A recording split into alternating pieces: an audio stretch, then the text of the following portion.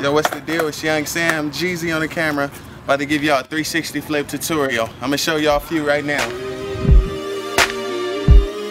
It's tight out here, man. It's real tight. Yo, the 360 flip, you gotta have pop shove it and kick flips. I'm gonna show you a few right now too. Real tight, man. It's real tight, man. I don't know if it's gonna get no better, man. It gotta get better, man. I mean, yeah, when you first do them, you're gonna have them weird. I'm gonna show you how most people get them. Look, just like this. A lot of y'all gonna have problems with the flip, like, and y'all gonna be falling off like that. But you gotta see it. trying to make payment arrangements.